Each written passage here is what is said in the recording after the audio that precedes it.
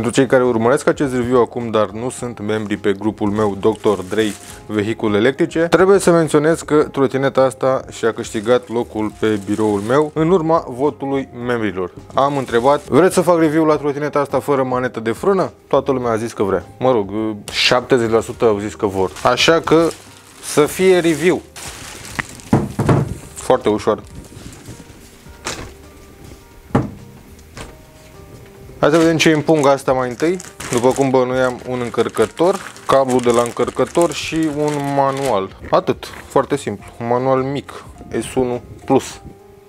Uh, manual în care chiar îți arată toate setările trotinetei. Ce tare! Deci are două butoane. Pe unul apăsăm ca să schimbăm viteza, pe unul apăsăm ca să claxonăm o dată, după aia apăsăm de două ori ca să prindem farul, apăsăm de trei ori ca să schimbăm din modul 0 start sau non-0 start și cam atât. Deci setările la trotineta asta sunt uh, strictul necesar, ceea ce nu e un lucru rău. Trotineta asta vine cu suport pentru pisici. Brownie? Ok, hai să o despicăm puțin. Avem o trotinetă mică, este mică. Ușoară, este ușoară. Lungă, e destul de lungă. Îmi încap ambele picioare. Avem cauciucuri pline tip fagure. Mai știți telefoanele alea de acum 30 de ani? Trebuia să faci așa ca să sun pe cineva. Trebuia să ții minte numărul. Așa, deci avem cauciucuri pline tip fagure, deși trotineta este IPX4 este waterproof, dar are cauciucuri pline. Asta înseamnă că eu pot să o folosesc pe vreme umedă, că nu mi-e frică să intre apă în ea, dar nu pot să o folosesc din cauza că alune. Cumva e o contradicție aici. Pa, e bine pentru băltoace, când mai găsim câte o după ploaie sau eu știu. Dar în rest cam se bat cap în cap. Hai să vedem pe partea altă, că pe aici nu sunt multe chestii.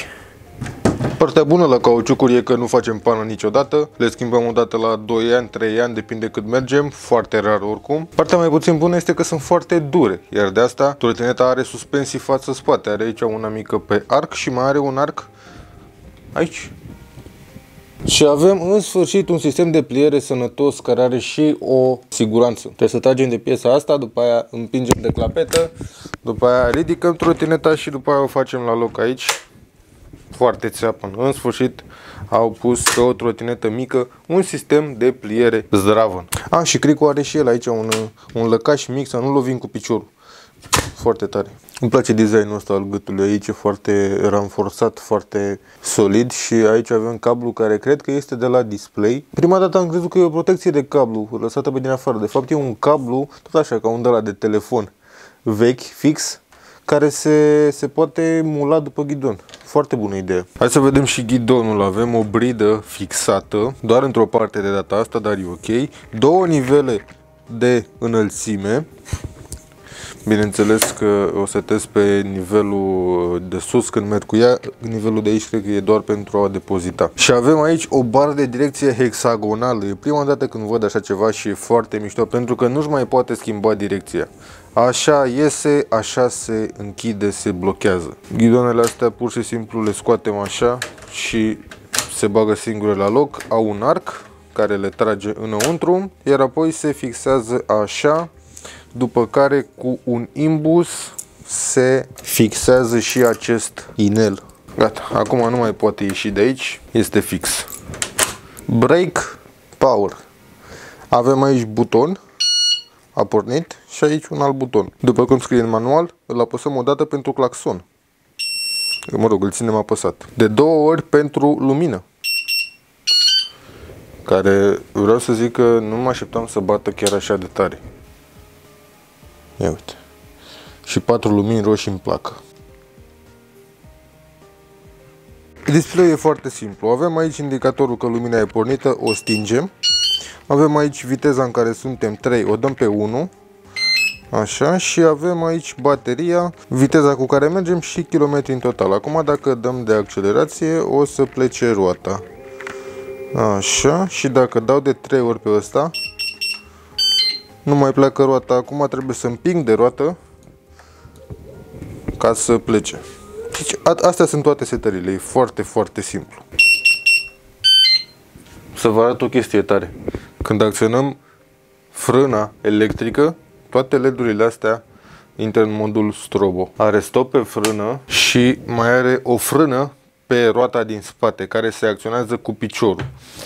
Asta e foarte bine. E bine că are două frâne, doar că roțile fiind pline, trotineta blochează roata, roata alunecă. Frâna electrică, după cum știți, de la orice trotinetă are un mic delay când o acționăm. Așa că eu a trebuit să fac un test ca să fiu sigur ce distanță am până să opresc trotineta de la 25 de km la oră la 0 km la oră.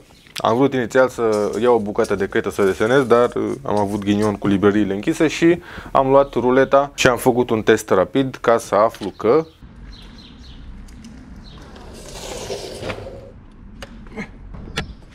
3,50 m. Atâta dură să frânez. Și am făcut și dita mai dură. Dar hai să vedem și specificațiile. Avem un motor de 350 de W pe roată din față. Asta înseamnă că centrul de greutate o să fie undeva aici în loc să fie în mijlocul trotinetei. Avem o baterie de 7,5 A pe 36 de volți. Trotineta suportă până la 120 de kg. Hai să vedem și cum uh, este securizată, cum este, uite, asta trebuie dat așa ca să putem să o ridicăm. Hai să vedem și cum stau roțile în ea, cum, cum sunt toate lucrurile astea asamblate la un loc.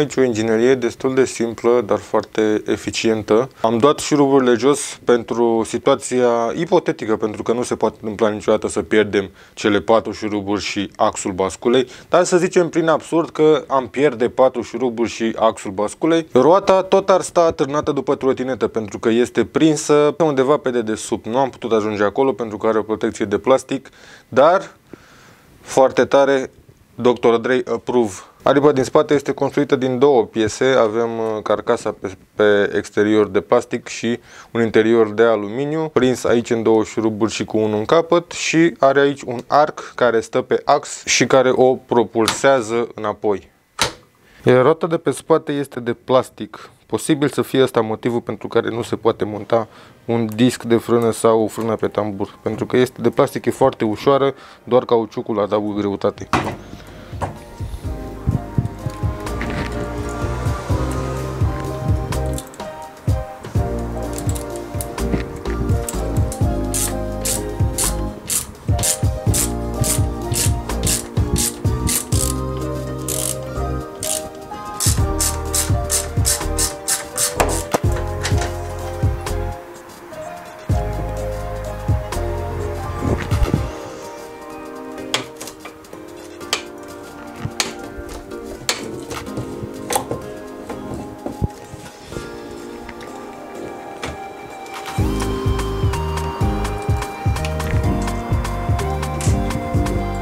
Din păcate nu pot să ajung la controller pentru că este sigilat cu mastic și nu e indicat să umblăm acolo cât încă avem garanție. Chiar și LED-urile sunt sigilate cu mastic.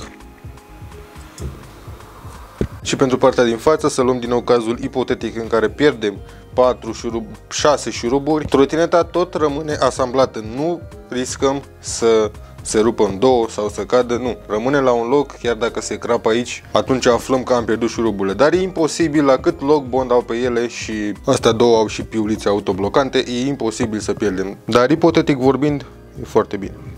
Suspensia din spate are un elastomer pe mijloc, o face foarte silențioasă și o face să lucreze mai bine.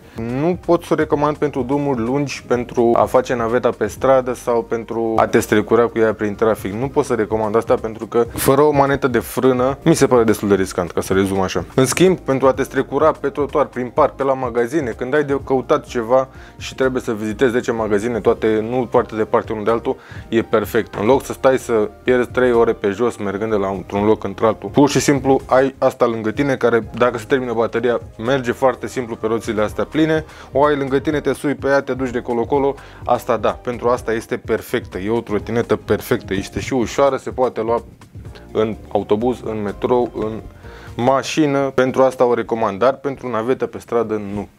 Hai să dau pe viteza 1, să vedem cât merge pe fiecare viteză. Dacă e real cu ce scrie pe display. 10 km, 11 km la oră înseamnă pe display 12. Deci 19 pe display înseamnă 17 sau 16 viteza reală, 17 viteza reală. Deci cu 2 km cum am zis. Hai să o dăm pe viteza 2. A, nu, ăla e claxonul.